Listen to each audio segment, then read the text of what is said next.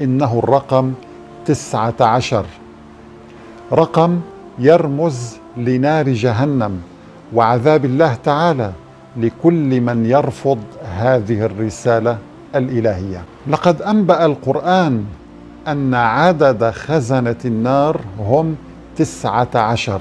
قال تعالى في سورة المدثر عليها تسعة عشر فالرقم تسعة عشر هو أول رقم نزل على النبي صلى الله عليه وسلم قال تعالى وما جعلنا عدتهم أي عددهم التسعة عشر إلا فتنة للذين كفروا ليستيقن الذين أوتوا الكتاب ويزداد الذين آمنوا إيمانا.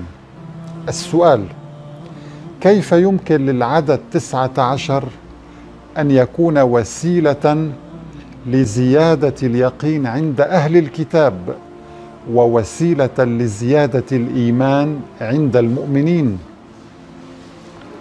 والسؤال الأهم ما علاقة الرقم تسعة عشر بأهل الكتاب تحديدا؟ لكي نعرف الجواب دعونا نفتح القرآن الكريم على السورة رقم تسعة عشر. الغريب أننا نجد سورة تتعلق مباشرة بأهل الكتاب. إنها سورة مريم عليها السلام. ولكن السؤال من جديد ما علاقة الرقم تسعة عشر بسورة مريم؟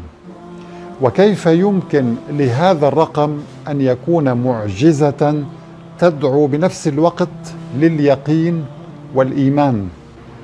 هل تعلمون أن الرقم تسعة عشر له حضور قوي في أول آية في القرآن الكريم وهي بسم الله الرحمن الرحيم التي تتألف من تسعة عشر حرفا. الرقم تسعة عشر له حضور في عدد سور القرآن مئة وأربعة عشر. وهذا العدد من مضاعفات الرقم تسعة عشر.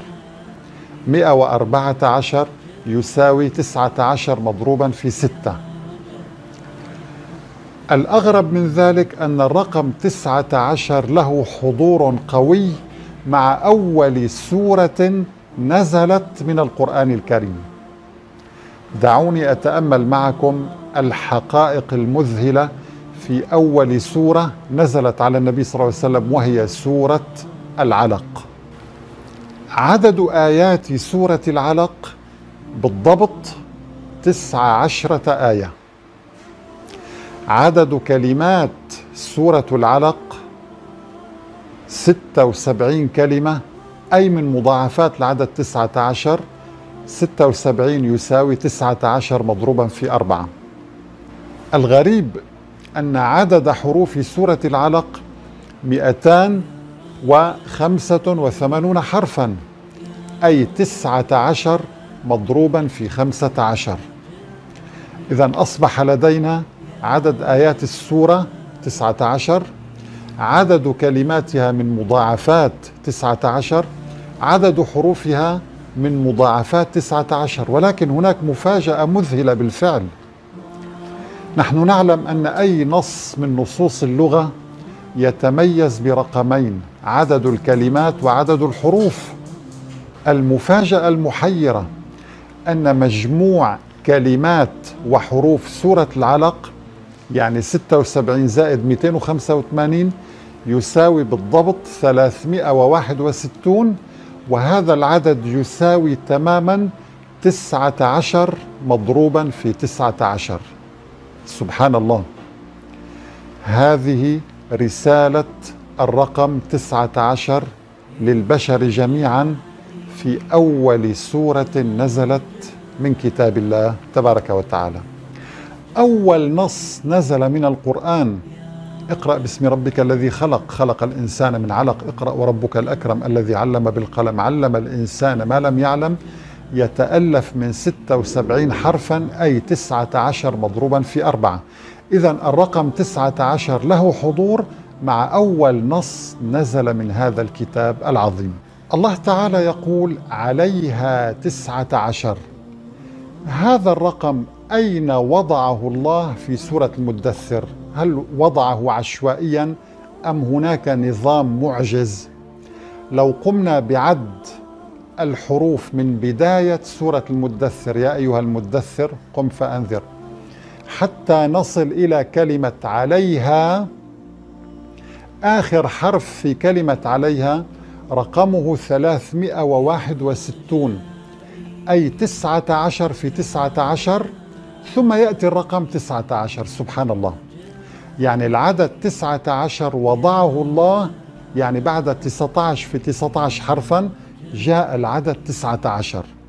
هناك نظام عجيب لبسم الله الرحمن الرحيم. فهذه الآية تكررت 114 مرة أي تسعة عشر مضروبا في ستة. ولكن هناك سورة اسمها سورة التوبة لا يوجد فيها بسملة.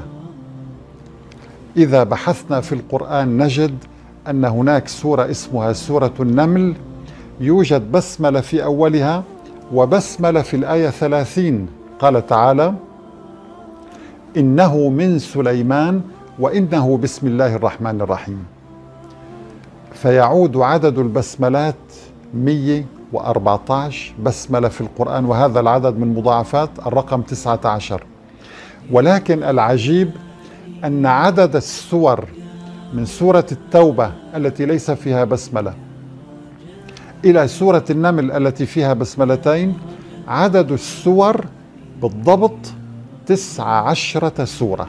سبحان الله.